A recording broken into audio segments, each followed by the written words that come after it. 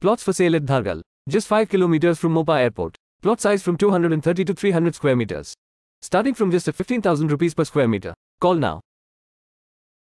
A day after Dr. Pramod Sawant blamed the Bihari migrants for the criminal incidents in the home state, the ruling Grand Alliance in the Bihar on Wednesday came down heavily on Goa's Chief Minister Dr. Pramod Sawant for his remark, asking why the BJP hate Biharis. The GA leader mounted attacks on Sawant shortly after he held the migrant laborers from the cow belt responsible for the crime in Beach City, saying about 90% of the crimes in the state are committed by migrant laborers from Bihar, Uttar Pradesh and other areas, and suggested the contractors to obtain labor cards before employing them. As his remark turns into a major controversy, Sawant now says he was quoted out of context. On International Labour Day, I talked in Konkani language about the necessity of the labour card to detect crime if it is committed by labour. It was twisted by some political leaders, Sawant told news agency ANI on Wednesday. He also expressed regret if his remark in any way hurt the sentiments of anyone. Leading the charge, Deputy Chief Minister Tejasvi Yadav accused the BJP leader of insulting the Biharis through nasty remarks. Why the BJP and the BJP people hate Bihar and Biharis, asked Tejasvi. He also wondered over the way the BJP government at the center always looked negative and indifferent towards the reasonable demand of Bihar. कानून की बात करता है और उसी party के गोवा के मुख्यमंत्री प्रमोद सावंत यह कहते हैं कि उत्तर प्रदेश और बिहार के जो मजदूर है वो अपराधी हैं नेशनल क्राइम ब्यूरो के आंकड़े जो अमित शाह का विभाग है, उस आंकड़े का अवलोकन कर लीजिए।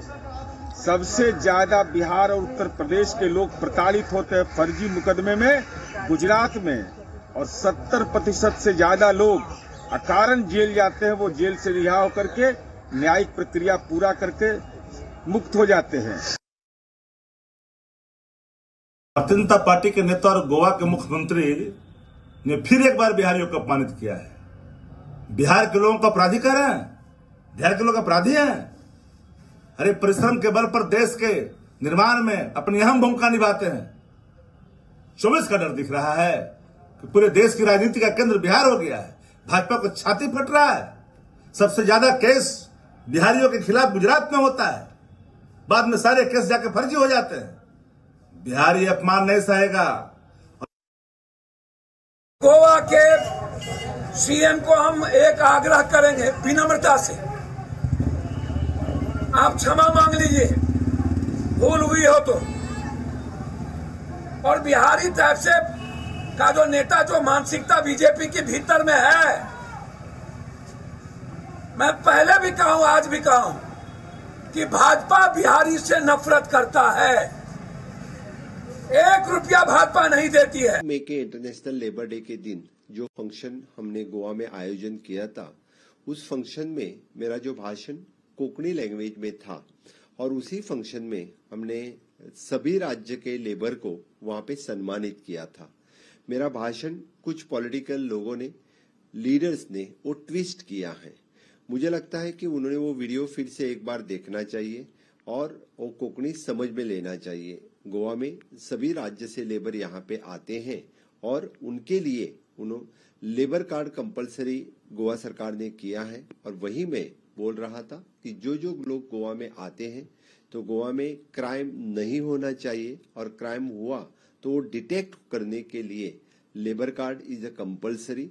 और उसी के ऊपर मैं बात करते वक्त मैंने यही बात की थी कि क्राइम नहीं होने चाहिए। जो माइग्रेंट लेबर गोवा में आते हैं, उनसे कौन सी भी क्राइम हुआ तो भी वो डिटेक्ट करने के लिए लेबर कार्ड ज़रूरी है। यही बात मैं मेरे कुकड़ी वाले भाषण में वहाँ पे कर रहा था। तो जाने अनजाने में किसी स्टेट या किसी स्टेट के लेबर्स को समझो दुख पहुँचा है तो मेरा कहने का मतलब यानी किसी स्पेसिफिकली उनको दुख पहुंचाना नहीं था, फिर भी किसी लीडर या किसी स्टेट के लेबर्स को खेत पहुँचा है तो मैं दुख पहुँचा है तो मैं इसके प्रति खेद व्यक्त करता हूँ। गोवा सरकार ने हमेशा के लिए सभी का आदर रखा है। इससे आगे भी हम जो कोई लेबर यहाँ पे आते हैं, उनका आदर करते वक्त उनको लेबर कार्ड इशू करना, उनके लिए लेबर वेलफेयर स्कीम देना, केंद्र सरकार और राज्य सरकार की सभी स्कीम उन लोगों तक पहुँचाने के लिए लेबर कार्ड हमेशा के लिए कंपलसरी रहेगा। बस यही मेरा इसके ऊपर